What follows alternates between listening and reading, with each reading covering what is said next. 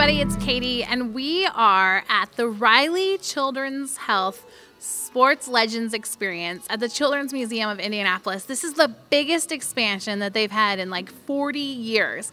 We've been watching the parking lot develop into this over the past couple years, and it is incredible. You're going to love it. You've got to come on down here.